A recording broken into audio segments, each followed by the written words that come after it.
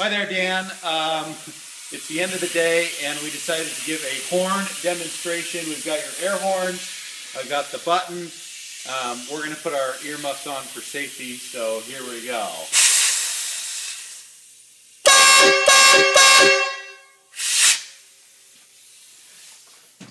You can feel your chest just vibrate with how loud that is. It's ridiculous. It is ridiculously loud. Stopp. Ja.